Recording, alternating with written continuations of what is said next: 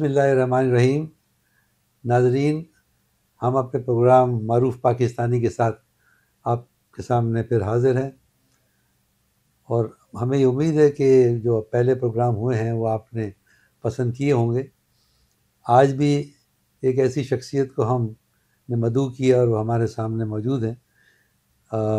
जिनकी अपनी एक शनाख्त है, अपनी फ़ील्ड है जो तिब और जिसे आप हेल्थ कहें मेंटल हेल्थ बेसिकली उसमें उनका एक नाम है और उनकी शख्सियत के इतने पहलू हैं कि मैं इस वक्त उनका एक एक करके ज़िक्र नहीं करना चाहता और मैं ये चाहूँगा कि ये सारी चीज़ हम उनसे सवाल करें और उसके जवाब में वो आती रहें तो वो ज़्यादा एक बेहतर तरीका होगा।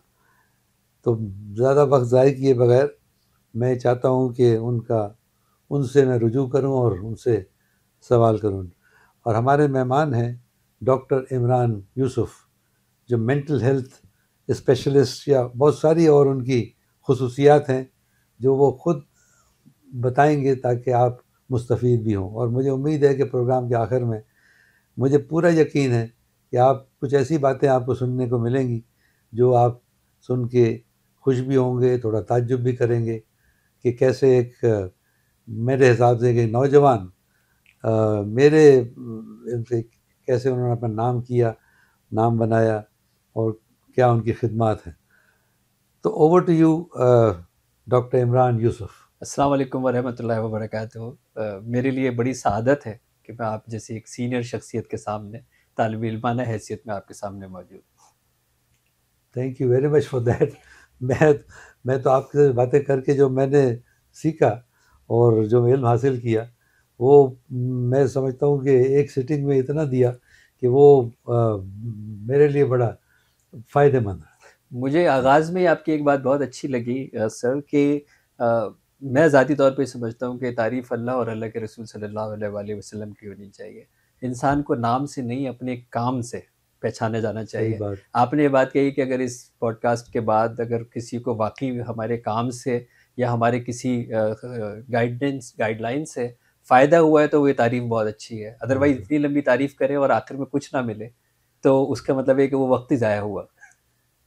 उसको शॉर्ट उसमें कहूँगा जिसमें हम कहते हैं इल्म नाफ़े। बिल्कुल सही है। इल्म नाफे अगर है तो वो इल्म है। अगर नाफे जिसको फ़ायदा नहीं हुआ इस इल्म से तो वो वो बेकार इल्म हो। सर बिल्कुल सही है। सिर्फ़ बेकार नहीं है। मैं ज़ाती तौर पर समझता हूँ हलाकत है। क्योंकि अबुल हकम जो कि हिजाज की तारीख के हिकमत का बाप था तारीख उसे अबू जहल के नाम से याद रखती है। तो इल्म की जो अगर हक नहीं है और हक पे कायम नहीं है और उसका अमल नाफे नहीं है नाफे नहीं। तो फिर वो हलाकत है और वो जहालत है। बड़ी बड़ी अच्छी बात आपने की डॉक्टर साहब। अब मैं इशू करता हूँ कि आप नाजरीन ज़रूर जानना चाहेंगे कि आप कहाँ पैदाइश आपकी कहाँ स्कूलिंग आपकी शुरू कहाँ से हुई और किस तरह करते करते आप अपने से जो मेडिकल प्रोफेशन है उस तक पहुँचे। वो अगर आप जितना कंसाइज तरीके बता सकें इसलिए आप आगे और भी सवाल आपसे कर रहे हैं। सर वो एक मेरे वालदेन ने खाल खालिश दिल्ली से हिजरत की और कराची के अंदर मेरी पैदाइश हुई। इसी नाजनाबाद में मैं पला बढ़ा। यहीं पे जो है वो मैं अपनी प्राइमरी और सेकेंडरी स्कूल्स के अंदर गया। एक मिशनरी स्कूल पारसियों के स्कूल के अंदर मैंने पढ़ा। ग्यारह ग्यारहवीं के अंदर मैंने कोशिश करनी शुरू की। बारहवीं के अंदर मैं पाकिस्तान से पंद्रह साल की साढ़े पंद्रह साल की एज में पाकिस्तान से चला गया। ज़िंदगी का बेशतर हिस्सा पाकिस्तान से बाहर गुज़रा और 2012 के अंदर फुल फ्लैज पाकिस्तान के अंदर में वापस अपने तो ये कितना अरसा बाहर आप रहे? एक तकरीबन पच्चीस से अट्ठाईस साल तकरीबन आप कह सकते हैं कि वहाँ पे जो है वो गुजरे मेरे। और इसमें इस दौरान फिर आपने जो अपनी सारी पढ़ाई वहीं मुकम्मल की और मुकम्मल तो मैं नहीं कहूँगा इसलिए कि आपका ये सिलसिला तो जारी है लेकिन आपने अपने जो डॉक्टरी का जो प्रोफेशन डिग्री है जो वो आपने ये सब के सब UK US mostly bachelors Philippines क्योंकि अमेरिकन क्रिश्चियन यूनिवर्सिटी के अंदर मेरा जो है वो बैचलर्स था वहाँ पे। और एजुकेशन आपने बिल्कुल सही कही कि वो अभी तक जारी है। मैं तीसरी क्लास में था जब मैंने ट्यूशन पढ़ानी शुरू की थी। जब मैं तीसरी क्लास में था। तो मैंने ट्यूशन पढ़ानी शुरू की थी। और जब मैं सिक्स क्लास में था तो मैं मैट्रिक के बच्चों को इंग्लिश और मैथ्स पढ़ाता था, क्योंकि मैं एक मिशनरी स्कूल से आया था और वो गवर्नमेंट स्कूल के बच्चे बच्चियाँ होती थी। उस टाइम में मुझे याद है कि कंपलसरी किया था इंग्लिश को तो सिक्स क्लास के अंदर ए बी सी शुरू करते थे और नाइन्थ का जो पेपर होता था टेंथ का, वो बहुत मुश्किल होता था। तो मैं इतना सही था और बड़े बड़े बच्चे बच्चियाँ जो है वो आते थे। तो इस जब आप ये बात कहते हैं तो मैं उससे ये अखज़ कर रहा हूँ कि आपके वालदेन खुद बहुत पढ़े लिखे होंगे, जो आप इस तरफ़ रुजू किया। मैं जो भी कुछ हूँ मैं अपने वालदेन की वजह से हूँ उनकी तरबियत की वजह से हूँ उनकी जहानत की वजह से हूँ। मैंने चार बर अज़मों में पढ़ाया है। मैं सिलिकॉन वैली के अंदर बिज़नेस एंटरप्रेन्योरशिप पढ़ा चुका हूँ और बड़े फ़ख्र से कहता हूँ कि मैंने वो पढ़ाया जो मेरे वालिद ने मुझे सिखाया जो कभी स्कूल नहीं गए थे। तो कभी स्कूल नहीं कभी स्कूल नहीं गए थे। मेरे माँ बाप कभी स्कूल नहीं गए। लेकिन मेरे माँ बाप ने वो बच्चा ज़रूर बनाया कि जो दुनिया को पढ़ाता है। हमारे यहाँ तरजीह नहीं थी। हम ज़ाहिर कारोबारी बरदरी से ताल्लुक़ रखते हैं। हम लोग कहते हैं कि कारोबार हम हमारे खून में है तो क्योंकि हम अच्छा। दिल्ली बरदरी से हैं। और यही बात तकरीबन मेमन कम्युनिटी के लिए भी कही जाती है और चन्यूटी कम्युनिटी के लिए भी जो पंजाबी हजरात हैं वो भी इनके लिए भी यही कही जाती है कि कारोबार इनको बचपन से आता है क्योंकि इनके खून में है। तो हम भी उसी कम्युनिटी से थे। तो तालीम जो है वो हमारे यहाँ तरजीहत में नहीं थी। बल्कि मैं एक बड़ी एक फ़िलासफ़ी बता देता हूँ। मेरे वालिद की वो कहते थे कि एम बी ए करने की क्या ज़रूरत है जब एम बी ए को नौकर रखा जा सकता है। तो ये एक फ़िलासफ़ी थी उनकी। और अपने हिसाब से उनकी सही थी क्योंकि नंबर्स के हिसाब से वो वाकई ऐसा ही था कि जब मैं जब मैं अपने वालिद को कन्विंस नहीं कर पा रहा था तो वो कह रहे थे कि क्या करोगे? मैंने कहा अच्छा मेरे वालिद ने मतलब वो बचपन के चार आने पर डे से लेके बाय द टाइम जब मैं सेकेंड ईयर शुरू हुआ तो मेरी पॉकेट मनी सौ रुपये पर डे कर दी थी मेरे वालिद साहब ने। और अच्छा। उनकी ख्वाहिश सिर्फ़ ये थी कि मैं पढ़ूँ नहीं और बाहर ना जाऊँ। तो ये उनकी और उस ज़माने में तीन हज़ार रुपये एम की सैलरी होती थी। I am talking of exactly nineteen eighty five eighty four eighty five तीन हज़ार रुपये तनख्वाह मिलती थी एम बी ए अगर किसी ने एम बी ए किया। और मैं एक पंद्रह साल का बच्चा जिसको तीन हज़ार रुपये पॉकेट मनी दी जाती थी ताकि मैं किसी तरह उस रास्ते से हट के इस रास्ते पे चले जाऊँ जो मेरे घर वाले मेरे लिए तफवीज़ कर रहे थे। तो मैं उनको कन्विंस नहीं कर पा रहा था। वो कह रहे थे कि क्या करोगे? मैंने कहा जी मैं पढ़ूँगा। उन्होंने कहा क्या पढ़ोगे? मैंने उनको बताया कि मैं कंप्यूटर्स पढ़ूँगा जो अभी समझ में नहीं आया। फिर उन्होंने कहा कितना पढ़ोगे? मैंने कहा जी चार साल मैं पढ़ूँगा। हम्म। उसके बाद बैचलर्स करूँगा फिर दो साल पढ़ूँगा मास्टर्स करूँगा और फिर मैं वापस आऊँगा। तो उन्होंने ये पूछा कि जब ये छः साल जाओगे पढ़ोगे वापस आओगे तनख्वाह कितनी मिलेगी? तो मैंने कहा तीन हज़ार। तो कहने को तो आज मिलती है तुम्हें। जैसे जब तीन हज़ार रुपये तुम्हें आज मिलती है तो ये छः साल अपने ऊपर लगा के फिर तीन हज़ार रुपये ये नंबर उनको समझ में नहीं आया, इसलिए मुझे तकरीबन छोड़ के मुल्क जाना ही पड़ा, क्योंकि मैं कन्विंस नहीं कर सकता था नंबर के मामला में। स्कूल का एक वाक्य बड़ा मैं तो सिर्फ़ तरजीहत की बात बता रहा हूँ कि स्कूल के अंदर जब मैं पाँचवीं क्लास में था तो जब हमारा फाइनल रिज़ल्ट आया तो मुझे फोर्टीन टाइम्स चौदह दफ़ा मुझे स्टेज के ऊपर बुलाया गया इनामात के लिए। Best of everything best of everything तो मेरी प्रिंसिपल ने कहा कि आपके घर से कोई आया है? तो मैंने कहा जी कोई नहीं आया। तो उन्होंने कहा कि मैं आपके घर चल सकती हूँ। ऑब्वियसली मैं एक प्रिंसिपल को कैसे कह सकता था कि नहीं चल नहीं सकती है। वो अपनी गाड़ी में बिठा के मुझे घर लेके आई। वालदा को मैंने बताया कि जी वो प्रिंसिपल साहिबा आई हैं। उन्होंने कहा क्यों आई हैं? मैंने कहा जी मुझे क्या पता क्यों आई है? उन्होंने कहा घर आना है। उन्होंने कहा आपने बिठाओ। वालदा एज यूजल दिल्ली बरादरी वाले हम लोग हैं। तो किचन में भागी। किचन का सारा सामान उन्होंने सेट किया टेबल लगवाई।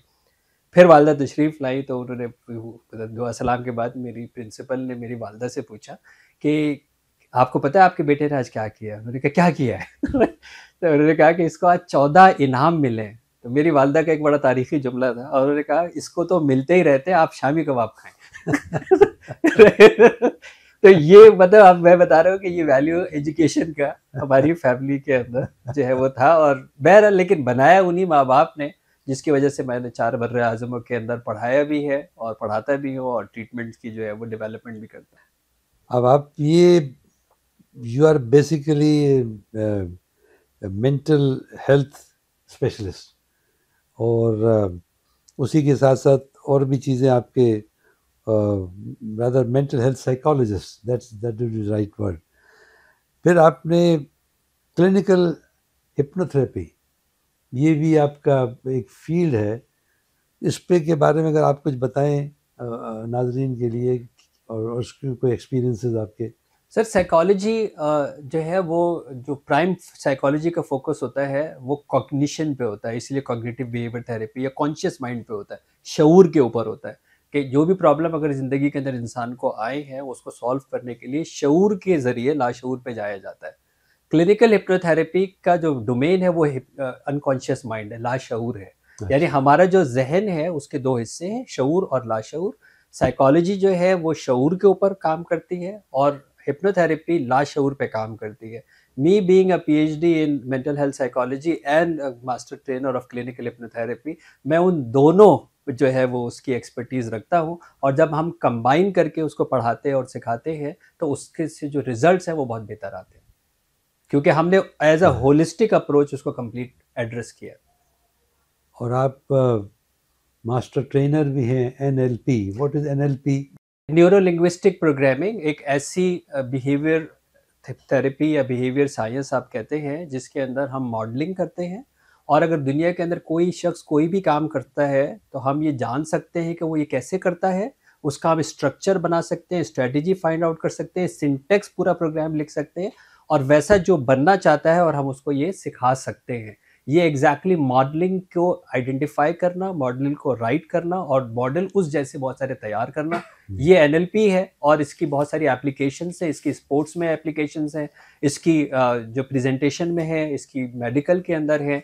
And we have a privilege of के इसके जो पाँच फाउंडर्स और डेवलपर्स थे I have work with all of them and combinedly certified as a master trainer और फ्यू इन द वर्ल्ड जिनको इतना एक्सेस है इस फ़ील्ड के अंदर भी। ये भी मैंने पढ़ा कि आपने एक transformation society which is known transformation if I am getting it wrong T I T I S जैसे आप कहते हैं। ट्रांसफॉर्मेशन इंटरनेशनल इंटरनेशनल सोसाइटी ये भी इसकी भी बुनियाद आपने डाली।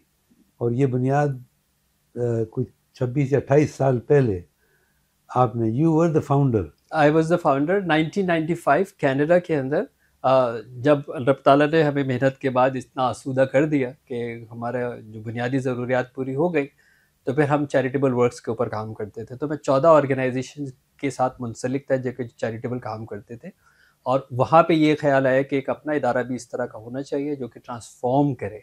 ट्रांसफॉर्म जो है, वो किस चीज़ के अंदर करे? वो माइंड के अंदर ट्रांसफॉर्म करे। काम के अंदर ट्रांसफॉर्म करे और इंस्पायर करे बेटर लिविंग पे। यानी वो शख्स जो अपनी ज़िंदगी के अंदर जहाँ पर भी रुक गया है, उस रुके वाले शख्स को आगे जो है वो कैसे बढ़ा सके। That is basically the whole concept of transformation कि एक रुके हुए शख्स को आप, हम आगे कैसे बढ़ा सकते हैं। क्योंकि इसके पीछे एक जो आयत थी, वाला यहूद वाला तो आमिल मिसकी सूर्य माउन की आयत थी, कि रब फरमाते हैं कि वो लोग जो रुके हुए लोगों को आगे नहीं बढ़ाते, उनकी नमाज़ हमें कबूल नहीं है। तो ये बेसिकली वो था कि हम आ, अगर ये ह्यूमैनिटी का काम नहीं करेंगे और वो शख्स जो अपनी ज़िंदगी के अंदर रुक गया है उसको अगर हम आगे नहीं बढ़ाएँगे जिस भी अपनी फ़ील्ड के अंदर। और फिर ये इवॉल्व होती चली गई। शुरू के अंदर हमने बहुत ज़्यादा काम किया इमिग्रेंट्स के ऊपर जो कि यहाँ से जाते थे और उनकी सेटलमेंट के इशू होते थे क्योंकि बिज़नेस हम करते थे और एक बड़े वेल नोन बिज़नेस मैन था कैनेडा के अंदर। फिर दूसरा हमारा अपना इदारा था जहाँ पे फिर हम ये कम्युनिटी वर्क के ऊपर करते थे। फिर बच्चों को सेटलमेंट होने का इशू होता था फिर रिलेशन के अंदर होता था तो वहाँ से ये स्टार्ट हुआ और फिर इसकी जो मेजर नीच है, फिर वो मेंटल हेल्थ के ऊपर बनती चली गई, क्योंकि जहनी सेहत ही असल में वो फैसले कराती है, जो कि रुके हुए वाले शख्स को आगे बढ़ाती है। तो that was actually the concept फिर हमने कनाडा के अंदर इसको फॉर्म किया अमेरिका के अंदर इसको फॉर्म किया और फिर पाकिस्तान के अंदर इसको जो है, जब मैंने हिजरत की पाकिस्तान वापस तो फिर हम अपने साथ इसको ये लेके आए ये जो नेशनल अवार्ड्स भी आपको पाकिस्तान के अलावा उसका मैं ज़िक्र अभी करता हूँ कि कनाडा में और यूएसए में एंड फिलीपींस में, वो भी नेशनल अवार्ड्स आपके इसी फ़ील्ड में इसी सर ह्यूमैनिटी के ऊपर particularly mind health technology develop करने के ऊपर बिकॉज़ मैं रैपिड इंस्टेंट थेरेप्यूटिकल इंटरवेंशंस बनाता हूँ कि जहाँ पे इंस्टेंट लेट गो कैसे कर सकते हैं। जैसे इवन ट्रॉमा है, अब बहुत सारे हादसा हो सकते हैं और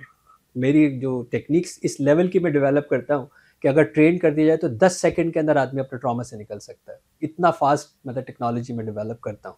और फिर ज़ाहिर उसकी एप्लीकेशन पूरी दुनिया में हुई, वो यूनिवर्सिटियों में पढ़ाई गई तो जहाँ जहाँ मेरे इस काम को जो है वो आइडेंटिफाई करते चले गए, वो मालिक जो है वो मुझे इस काबिल समझते हैं। और वो देते गए तो इसलिए मुझे अमेरिका से नेशनल अवार्ड मिला कनाडा से नेशनल अवार्ड मिला नेदरलैंड से नेशनल अवार्ड मिला फिलीपींस से मिला। और फिर जब पाकिस्तान आया तो 2015 में, पाकिस्तान में भी फिर सितारा इम्तियाज़ के लिए जो नाजिन आपको सुन के खुशी होगी कि डॉक्टर साहब को सदाती सितारा इम्तियाज़ मिला। इनकी इन काविशों के नतीजे में जो कि एक फुल्ली डिज़र्व मैं समझता हूँ कि अवार्ड था। डॉक्टर साहब आपसे बात हो रही थी तो आपने दो चीज़ें बड़ी मेरे लिए और वो मैं चाहता हूँ नाजरीन के साथ शेयर करें। यही आपकी जो फ़ील्ड है उसका ज़िक्र करते हुए आपने बॉक्सर मोहम्मद अली का भी ज़िक्र किया और टाइगर वुड्स जो गोल्फ़र हैं internationally known number one golfer बहुत पाकिस्तानी उसके नाम से वाकिफ़ हैं और मोहम्मद अली के नाम से कौन वाकिफ़ नहीं। तो वो क्या बात थी I would like you to share with the viewers sure Muhammad Ali की वैसे एक बड़ा मशहूर सेइंग है, जो मैं ये चाहता हूँ कि आपकी बड़ी नाजरीन है और उसके अंदर पर्टिकुलरली यूथ भी हैं और पाकिस्तान के अंदर 60 परसेंट पॉपुलेशन यूथ की है। मोहम्मद अली का एक बड़ा इंस्पिरेशनल जुमला है जिस पर उसने यकीन भी रखा और जो मेरे लिए भी हिदायत है इस सेंस में मैं उसको अप्लाई करूँ। मोहम्मद अली कहते थे कि मैं कभी हारता नहीं या मैं जीतता हूँ या मैं सीखता हूँ। मैं अच्छा, हारता नहीं हूँ। और यही प्रिंसिपल मेरा भी है और यही प्रिंसिपल मैं चाहता हूँ कि हमारी हर यूथ का हो कि हम हारते नहीं हैं या जीतते हैं या सीखते हैं। जब तक या सीखते हैं। और जब तक सीखते रहेंगे जब तक हम जीतते नहीं है, हारते नहीं है, हम लोग हारते नहीं मोहम्मद अली के पास ये सलाहियत थी कि वो टाइम डिस्टॉर्ट कर सकता था और ख़ास तौर के ऊपर वो स्लो कर सकता था। वक्त एक रिलेटेड टर्म है। अगर हम किसी ग्रेव्ड होते हैं, किसी चीज़ में तो तीन घंटे की मूवी ऐसे चली जाती है, पता ही नहीं लगता। और अगर हम सीएनजी की लाइन में खड़े हो जाए तो पाँच मिनट के बाद हमें घबराहट शुरू हो जाती है बैंक की लाइन पे घबराहट शुरू हो जाती है एयरलाइन के लिए घबराहट शुरू हो जाती है। तो वक्त को हम रिलेट कर सकते हैं कि वक्त स्लो जा रहा है या वक्त फास्ट जा रहा है। वो हम अपने अपनी टेक्नोलॉजी के तरह हम तो सिखाते हैं अब दुनिया को कि हम वक्त को स्लो भी कर सकते हैं और फास्ट भी कर सकते हैं। उसके अंदर ये खुदादात सलाहियत थी मोहम्मद अली के अंदर कि वो वक्त को स्लो कर सकता था। तो जब उसके सामने पंच आता था तो वो स्लो मोशन के अंदर उसको कन्वर्ट कर देता था अपने जहन के अंदर और इसीलिए आप मोहम्मद अली को देखें, वो सिर्फ़ अपने आप को बचाता था और उसके बाद एक लगाता था और वो उसके लिए फाइनल राउंड होता था। यही स्ट्रैटी जो है, वो फिर तेंदुलकर ने अपनाई है। क्रिकेट का जो आपको पता सबसे ज़्यादा रन शायद आज भी उसी के ही है। क्योंकि उसने ये सीख लिया था कि इसको कैसे अप्लाई करते हैं। और उनके ट्रेनर्स ने उसके ऊपर वो इंस्टॉल की स्ट्रैटेजी को और फिर उसको भी एक स्लो आती थी और रनों के अंबार वो लगा दिया करता था।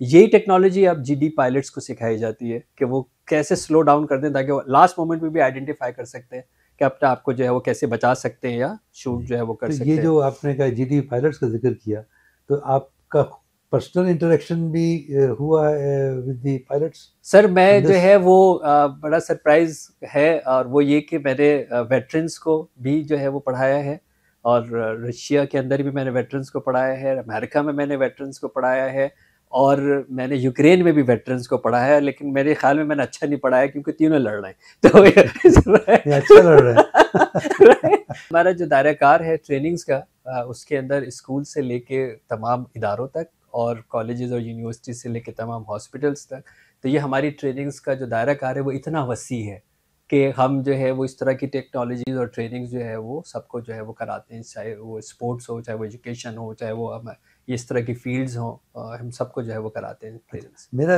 ये था कि जो कमिंग बैक टू पाकिस्तान के पाकिस्तान के जो पायलट्स हैं एयरफोर्स के उनके साथ भी कोई इंटरेक्शन सर पाकिस्तान के अंदर बहुत सारे इदारे हैं जिनको हम पढ़ाते हैं ट्रेनिंग्स कराते हैं लेकिन हसासियत की वजह से मैं ज़ाहिर नहीं करना चाहता। लेकिन बहुत सारे इदारे ऐसे हैं जहाँ पे हम ये जो है वो काम कराते हैं और पढ़ाते हैं।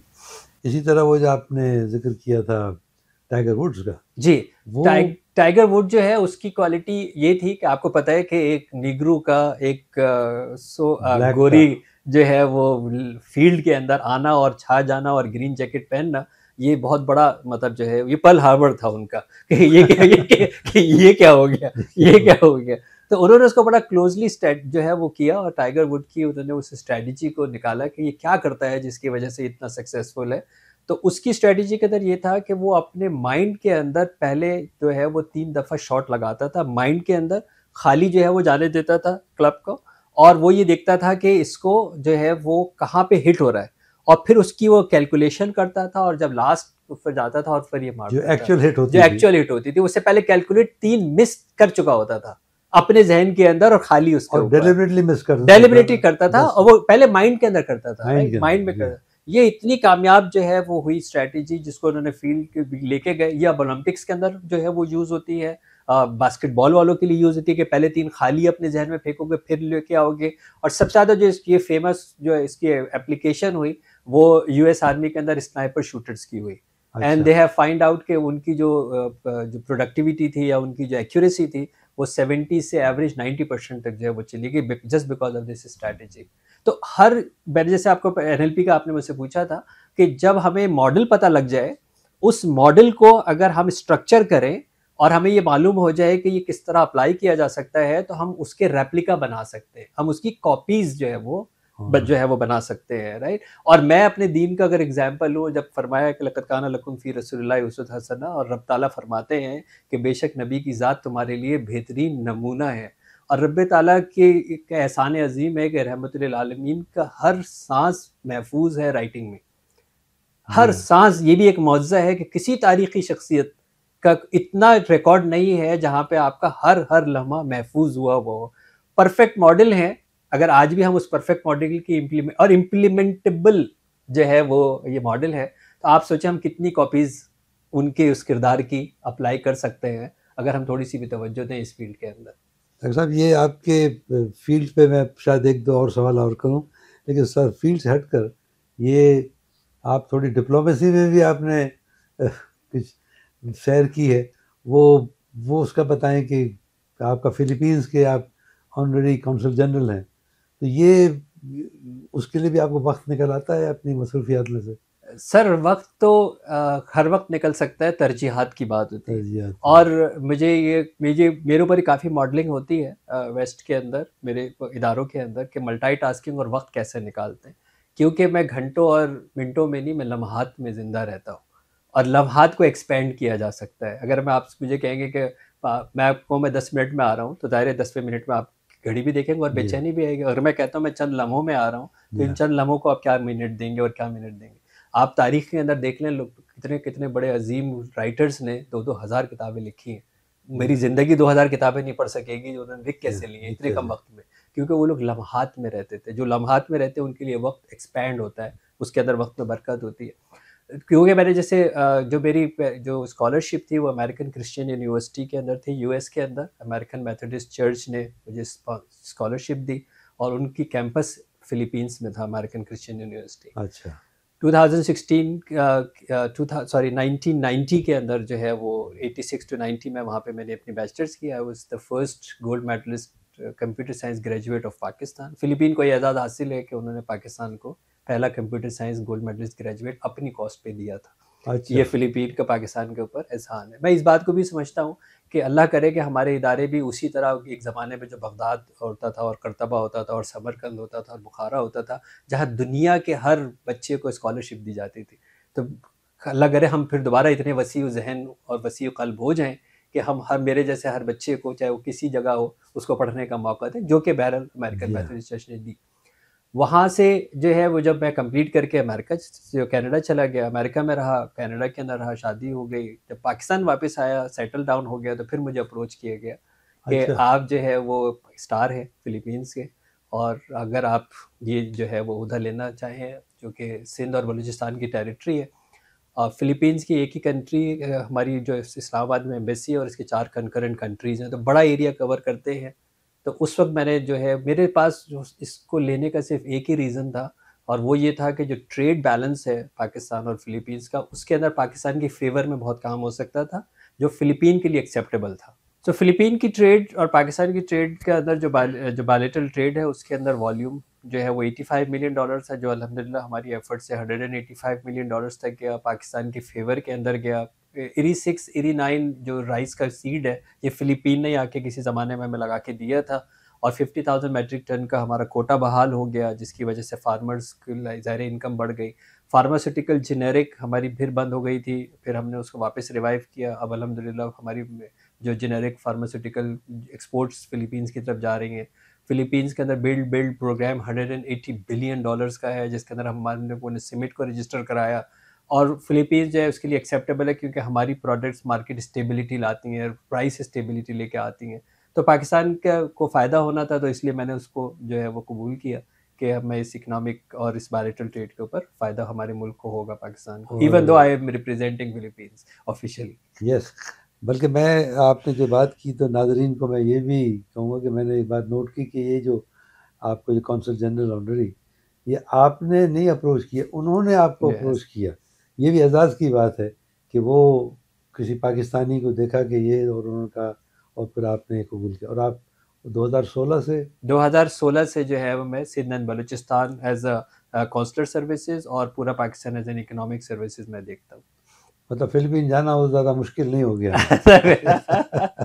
बिल्कुल बिल्कुल बिल्कुल मुश्किल नहीं होगी। आपने अपनी फ़ील्ड में मैंने देखा कि आपने एक किताब भी को ऑथर की है ब्रायन स्टेसी और आप भी उसके मतलब ऑथर ये किताब किस चीज़ सक्सेस ब्लूप्रिंट जी ब्रायन ट्रेसी जो है ये आ, इसको एंटरप्रेन्योर ट्रेनर एंटरप्रेन्योर ग्रू और ये सब जो है वो कहा जाता है। और अमेरिका के अंदर जो है ये बड़ा पॉपुलर है। अमेजोन के ऊपर जो है वो बड़ा पॉपुलर है। तो इसके साथ जो है वो को ऑथर की थी ये किताब जिसके अंदर सक्सेस ब्लूप्रिंट यानी कारोबार कैसे किया जाता है। कॉन्सेप्ट ये था उर्दू के अंदर आसान लोगों के लिए ख्याल से माल तक। ख्याल से माल ख्याल से माल। आप ख्याल बताएँ मैं ये बताऊँगा कि इसमें माल कैसे बनेगा। और अगर ये माल नहीं बनेगा तो दूसरा ख्याल लेके आए।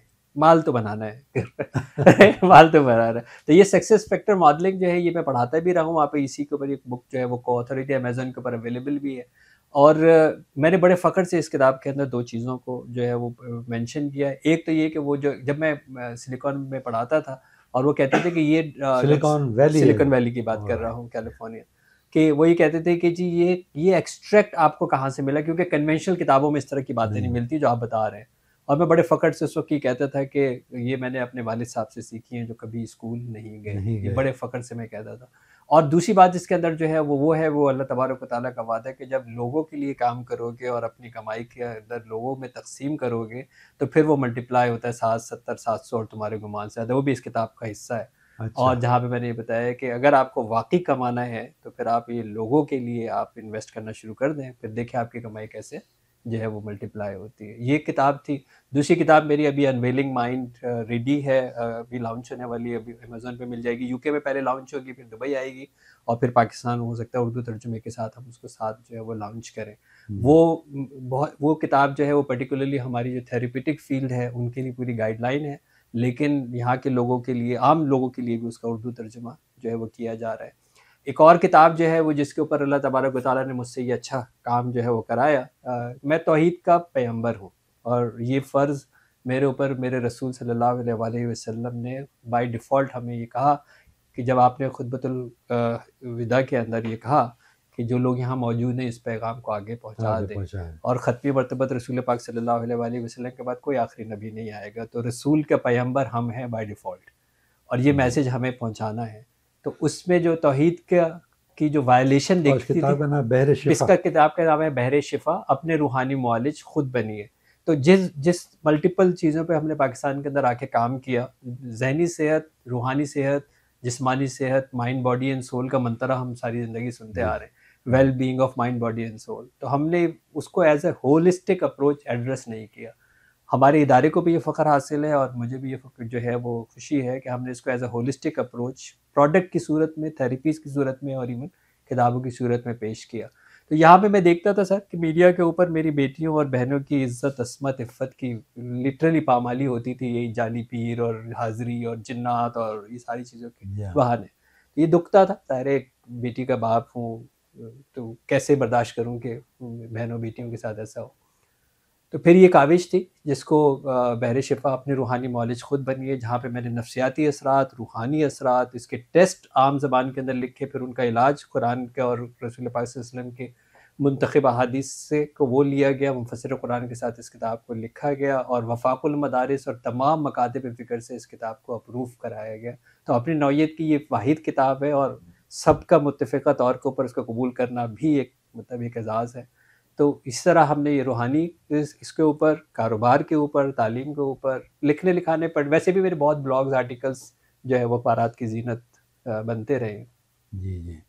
बड़ी बड़ी बड़ी बात है और आपने जो ज़िक्र किया कि हमारे इदारे नहीं तो आपका इशारा किस कौन से इदारा है जो आपने कहा ट्रांसफॉर्मेशन इंटरनेशनल सोसाइटी के अंडर के अंदर ट्रांसफॉर्मेशन वेलनेस क्लिनिक्स काम करते हैं जो कि अच्छा। जहनी अमराज के ऊपर बच्चे से लेके और बड़ों तक तमाम जहनी नफसियाती साइकेट्रिक न्यूरोलॉजिकल साइकोलॉजिकल इलनेसिस के ऊपर काम करता है ये इदारा जो है इसको इसको ये आज़ाद हासिल है कि दुनिया का जदीद तरीन मैग्नेटिक स्टिमुलेशन थिएटर्स हमारे पास मौजूद हैं अभी हमारा एक नया ट्रांसफॉर्मेशन इंटीग्रेटेड लर्निंग सेंटर जो कि हमने चिल्ड्रन ट्रांसफॉर्मेशन का इदारा जो है वो ऐड किया जिसके अंदर 25 थेरेपीज़ जो है वो जो है वो ऑफ़र होती है अंडर वन रूफ आठ डॉक्टर्स एक बच्चे के ऊपर काम करते हैं। इंडिविजुअलाइज एजुकेशन लर्निंग प्लान बनता है।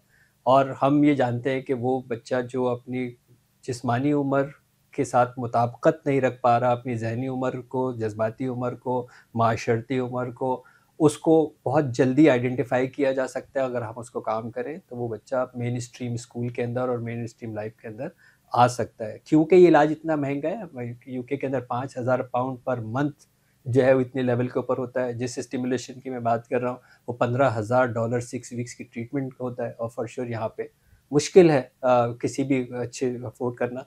लेकिन हमें अल्लाह ताला का एहसान है कि हम यहाँ पे ये आ, जो मुस्तक लोग हैं उनको फ्री ऑफ़ कॉस्ट प्रोवाइड करते हैं। डॉक्टर साहब आपकी इस वक्त जो मसरूफियात हैं उसमें एक लेक्चर्स आप काफ़ी देते हैं।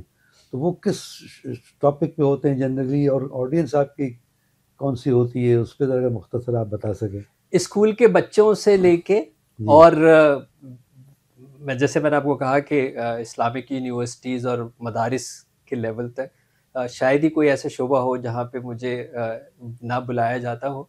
और मैं अपनी तालब इम हैसियत से कुछ कंट्रीब्यूट ना कर पाऊँ।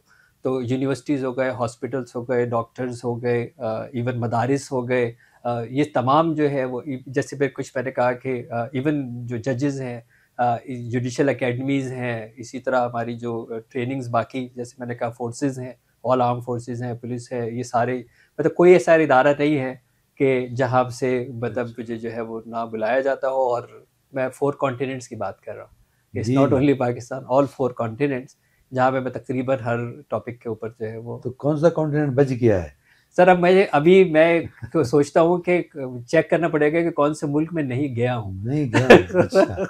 कौन सा मुल्क जो है वो मैं नहीं गया हूँ। तो इस तरह की अलहमदिल्ला कंट्रीब्यूशन है। अल्लाह तबारक ताली हमसे जो है वो जो काम ले रहा है वो कबूल भी कर ले। डॉक्टर साहब एक और चीज़ पे मैं समझ बड़े एजाज़ की बात है जो मैंने देखी। कि आप mental health programmes for universities उसके भी डेवलपर हैं। आपने ये कौन कौन सी यूनिवर्सिटीज़ को आपने इस चीज़ में मदद की है to develop these program Pakistan में तो तकरीबन तमाम ही जो मेजर यूनिवर्सिटीज़ के साइकोलॉजी डिपार्टमेंट्स हैं वहाँ पर जो है वो ट्रेनिंग्स और इवन बिज़नेस एडमिनिस्ट्रेशन की भी टेक्निक्स और प्रोग्राम्स डेवलप किए हैं। लिवरपूल के साथ हमने काम किया university of Liverpool university of California Santa Cruz के साथ हमने काम किया कैनेडियन यूनिवर्सिटीज़ के साथ काम किया। बल्कि यूनिवर्सिटी ऑफ़ लिवरपूल के साथ जो हमारी स्टडी है पाकिस्तान की वो ट्वेंटी ट्वेंटी की study of the year of Liverpool थी। मतलब उस इंटरनेशनल अच्छा। लेवल की हमने जो है वो स्टडीज़। और यहाँ जो मुल्क में जो यूनिवर्सिटीज तकरीबन तमाम ही मेजर यूनिवर्सिटीज़ जो है वो वहाँ पे नज़र आएँगे। वहाँ पे या तो मेरे स्टूडेंट्स नज़र आएँगे या मेरे पढ़ाया हुआ पढ़ा जो है वो पढ़ाते हुए नज़र आएँगे। And the focal point there are the psychology psychology psychological wellbeing जो जो। जहनी सेहत की जो है उसके ऊपर आप ज़्यादा मेरा काम जो है उस पर बड़े एजाज़ की बात है। सेशन रहा और जिस तरह मैंने प्रोग्राम में शुरू में कहा था कि ये प्रोग्राम हमारे नाजरीन के लिए बहुत मुफीद साबित होगा। बड़ी ऐसी बातें आपने की जो कि उनको इल्म में नहीं थी। लेकिन खुदाफिज कहने से पहले आपसे ये रिक्वेस्ट करूँगा कि आप जितना भी आपका तजर्बा है और जो कुछ भी आपने खिदमत दी जाते जाते आजकल के यूथ के लिए आप कोई शॉर्ट मैसेज एडवाइस दे सकें तो वो मैं यूथ के लिए बहुत जो मतलब मैं आपको अपने एक्सपीरियंस की बात बता रहा हूँ कि मैं वो अल्लाह ने मुझे उस मकाम पे फाइज किया है। मैं एक कैनेडियन सिटीज़न हूँ, मैं एक डिप्लोमेट हूँ, मैं एक ब्लू पासपोर्ट होल्डर हूँ और मैं बड़ा साहिब हैसियत हूँ कि जिस फ़्लाइट से मैं जब चाहूँ, बैठ के दुनिया में किसी भी जगह जाके आसूदा ज़िंदगी गुजार सकता हूँ। हज़ार से पाँच हज़ार डॉलर पर घंटा कमाना मेरे लिए कोई बड़ी बात नहीं। लेकिन अगर मैं अपने कैनेडियन बॉन्ड बच्चों को लेके पाकिस्तान में शिफ्ट हुआ हूँ, अगर मैं यहाँ पे बैठ के पढ़ा रहा हूँ, काम कर रहा हूँ, कारोबार कर रहा हूँ तो ये मैं आपको आप अपने तजर्बे से बता रहा हूँ कि दुनिया में बेहतरीन मुल्क अगर है तो वो पाकिस्तान है। आप चाहने की बात कर रहे हैं मैं कह रहा हूँ कि मेरा जीना मरना पाकिस्तान में सिर्फ़ इसलिए नहीं कि मैं कोई कोई बड़ी वफादारी की बात कर रहा हूँ मैं इसलिए कह रहा हूँ कि आपको पढ़ना है आपको पढ़ाना है आपको काम करना है आपको पैसे कमाने हैं आपको स्किल्स बनाने हैं आपको मुस्तबिल बनाना है आपको लखपति बनना है अगर दुनिया में कोई अपॉर्चुनिटी का मुल्क है वो पाकिस्तान है। सिर्फ़ आपको ये आना चाहिए कि वो कैसे बनते हैं। और अगर आपको नहीं समझ में आ रहा कैसे बनते हैं, मेरे इदारे के साथ कांटेक्ट कीजिए। मैं यहाँ क्लासेस भी लेता हूँ, मैं पढ़ाता भी हूँ सेमिनार्स भी करता हूँ वर्कशॉप भी करता हूँ और बिल्कुल मुफ़्त करता हूँ। क्योंकि मुझे पता है कि ये पाकिस्तान के अंदर वो पोटेंशियल है कि मेरे जैसे नाजाबाद के बच्चे को दुनिया का सितारा बना के और फिर वापस में अगर यहाँ पे आया हूँ तो मुझे मालूम है कि उससे ज़्यादा बेहतर मुल्क ये पाकिस्तान है। बहुत शुक्रिया डॉक्टर साहब। इजाज़त लेने से पहले नाजरीन मैं ये उम्मीद रखता हूँ कि आप, हमें अपनी राय से नवाजते रहेंगे। उसके लिए हमारा टेलीफोन नंबर और हमारी ईमेल की जो आईडी है, वो स्क्रीन पे आप देख रहे होंगे। उसमें आप ज़रूर हमें मुतला करें और हमारे जो प्रोग्रामों में कुछ थोड़ी बेहतरी नज़र आ रही है, वो जो आरा आपकी हमें मिलती हैं, उसको देख कर के हम अपने प्रोग्राम को और बेहतर कर रहे हैं।